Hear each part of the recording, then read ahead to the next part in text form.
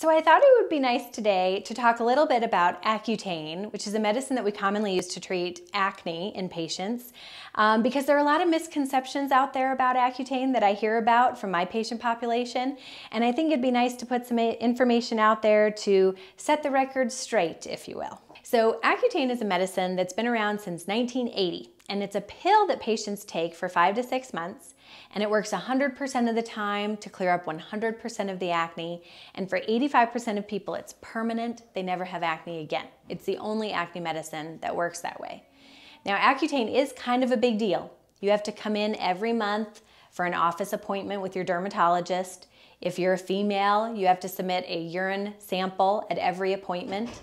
You have to have your blood drawn twice while you're on it and it makes your skin dry and your lips chapped.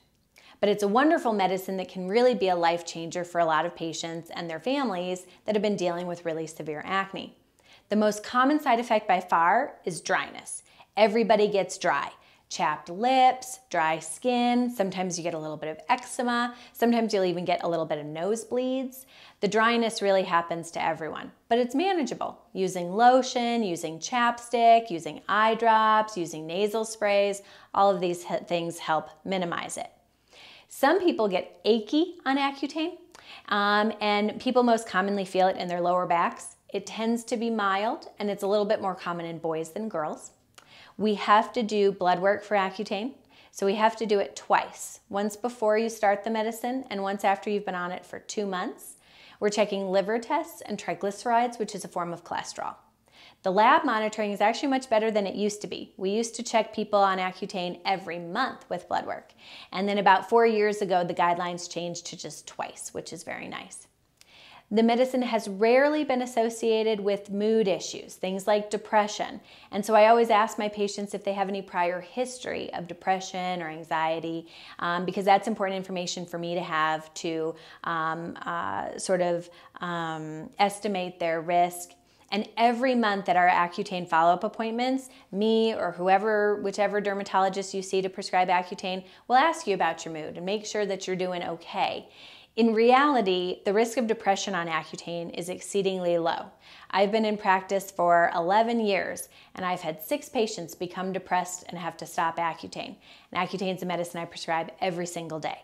So it happens, but it's really quite rare. And the good news is, is that those six patients, they stopped their medicine and they went back to normal. It doesn't produce any long-term mood issues. And then there used to be commercials from lawyers talking about a possible association with inflammatory bowel disease, which means things like Crohn's disease. We've done numerous studies showing that there's no association here and there's no increased risk of inflammatory bowel disease on Accutane. I haven't seen a commercial from a lawyer for a really long time, so hopefully those warnings are going away. So because Accutane is metabolized by the liver, we do check liver function tests for patients who are on Accutane. Um, and we don't want other things hurting the liver at the same time, alcohol being one of them. So if you are an adult, 21 years of age and older, and you are enjoying a glass of wine with dinner, that's okay but we would discourage people from doing much binge drinking on Accutane just because you don't want to put too much stress on your liver. Will it change your vision? So some people experience eye dryness on the Accutane, um, and that can cause blurry vision and things like that. So we treat that with eye drops. Um, and then rarely, Accutane is a derivative of vitamin A. And if you have too much vitamin A, you can have difficulty seeing at night. And so we don't see this with Accutane all by itself, but if somebody is on Accutane and also taking um, vitamin A supplements or, you know, just a lot of vitamins that have vitamin A in them, then they can start having trouble seeing at night. So um, a lot of people, that's a very common misconception. They may have read or heard about people having hair loss issues while on Accutane. So there have been reports of patients on Accutane undergoing something called telogen effluvium. So telogen effluvium is where your body is going through a stressor. It can be emotional, it can be physical, like a surgery, it can be having COVID and recovering from that. And your body just decides that it has bigger fish to fry and it's gonna focus its energy more on what it needs for its general health and well-being. And so it puts your hair in a shedding phase. And so you get a programmed hair shedding called telogen effluvium. And there have been a few people on Accutane that have experienced a telogen effluvium just from the stress of going through the whole Accutane process. I actually, prescribing Accutane every day for the past 11 years, I've only had maybe two or three patients that have developed telogen effluvium. So it's really not very common. The biggest deal for Accutane and why it has kind of a big deal feel to it is because it causes horrible birth defects if a woman takes it while pregnant. Now, it doesn't do anything to a woman's fertility or for her ability to have happy, healthy kids down the road. But if you got pregnant and you were taking it at that time, it hurts the baby. And so that's why the medicine is so highly regulated. It has no increased risk of birth defect issues for boys on Accutane ever. It's just females who get pregnant on the medicine. The medicine is very bad for that baby. So that's why we have to do the urine sample every month for females. We actually have to run a urine pregnancy test on it. Girls have to answer questions every month about how they know this medicine would hurt a baby if they were to get pregnant. And they have to pledge that they are preventing pregnancy. One misconception about going on Accutane is that you have to take a birth control pill if you are a female going on Accutane. That's actually not true. The program has several options of pregnancy prevention that you're allowed to choose from, and one of them is abstinence, meaning that you're not going to have sex. So you do not have to take a birth control pill in order to go on Accutane. The risk is real. The birth defects are awful. Um, it's a, a, every dermatologist's worst nightmare to have a patient get pregnant on Accutane. But it's important to realize that it doesn't do anything long term to disrupt fertility or the ability to have happy, healthy kids down the road. In fact, Accutane is out of your system 20 days after you stop taking it. So it'd be perfectly normal and healthy to get pregnant even a month after you finish the medicine. Accutane is very well covered by insurance. Um, it's generic. In fact, some people have heard that Accutane has been removed from the market.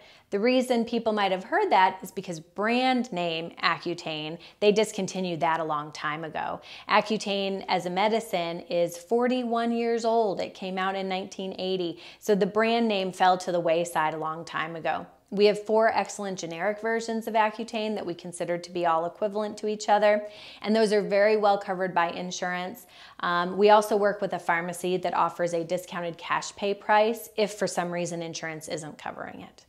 Isotretinoin is the generic uh, uh, version, generic name of Accutane. I think we all still refer to it as Accutane, even though brand name Accutane was, was um, discontinued a long time ago. Um, but yeah, the generic name is isotretinoin. So how's it related to tretinoin? So tretinoin is in a member of a class of medicines called the retinoids. And we have three topical retinoids. Actually, now we have four topical retinoids. Adapalene and tretinoin and tazarotene are the generic ones. Accutane is in that family, but it's a systemic retinoid. So they're working targeting similar receptors in the skin. That's what they all have in common.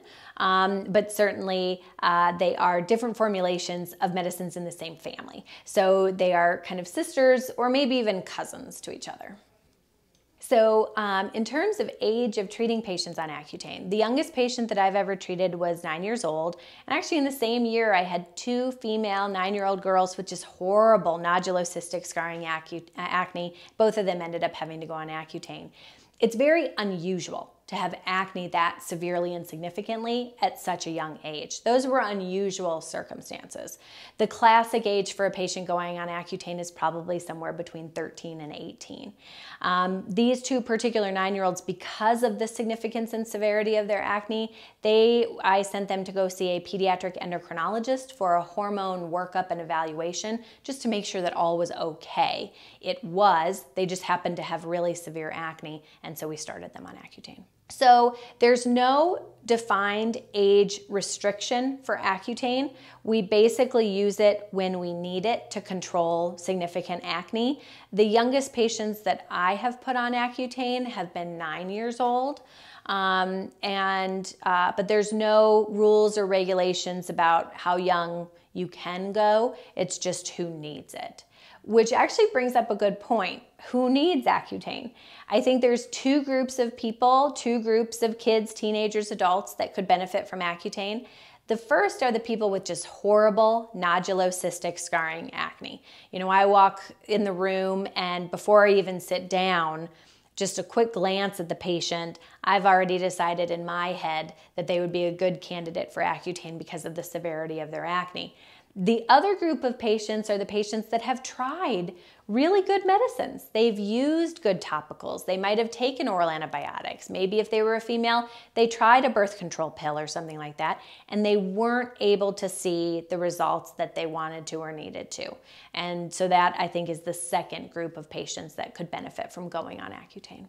So Accutane works by shrinking your sebaceous glands.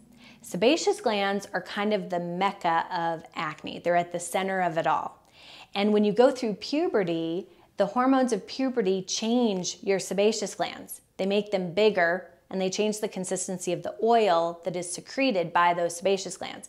And that's largely what causes acne during, during puberty. What Accutane does is it shrinks those sebaceous glands down to where they were before puberty, down to where they'll be after puberty. And for most people, that is permanent shrinkage, which is why Accutane offers a permanent cure for the acne. I would say anytime somebody is dealing with acne and is bothered by it, bring them on in. There's all sorts of stuff that we can do.